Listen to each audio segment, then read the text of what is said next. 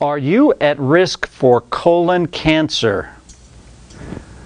We are seeing the highest ever recorded rise in colon cancer rates in America. From 2010 to 2015, there was a 4.5% increase. And it's not just in America. Denmark, United Kingdom, and other countries are seeing an even more significant increase, up to 8% annually among the 20s that they looked at. So factors that in, increase your risk of colon cancer include genetics, but it's only a 5% risk, so it's not a significant one. Time watching TV can, heavy alcohol consumption can, and smoking cigarettes can. But I want you to know that the biggest factors are the dietary factors. There's a strong relationship between what you eat and colon cancer. Processed meat is very high on the list of things to stay away from. Obesity is known to increase your risk of colon cancer.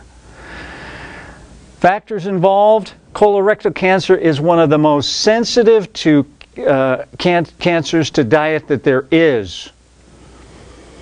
Antibiotics are known to be a risk factor for colon cancer. In a study of 30,000 people diagnosed with colon cancer and 137 control subjects, they looked at their antibiotic use. And do you think they found a correlation? They said the results were compelling. Increased risk of colon cancer, even if used only minimally.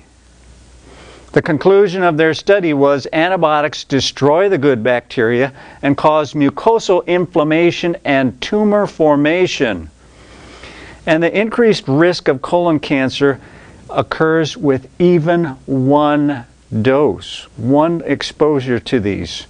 They called for the judicial use of antibiotics because of its connection.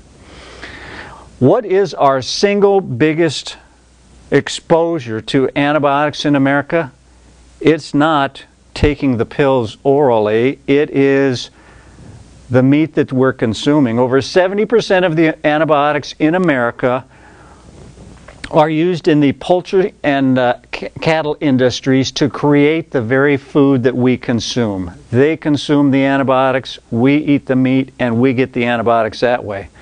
So to decrease your risk of colon cancer, I want you to avoid the risk factors, as many as you can. I want you to decrease your meat consumption, and I want you to use antibiotic free meat whenever possible. All of these tips are in the Seven Systems Plan.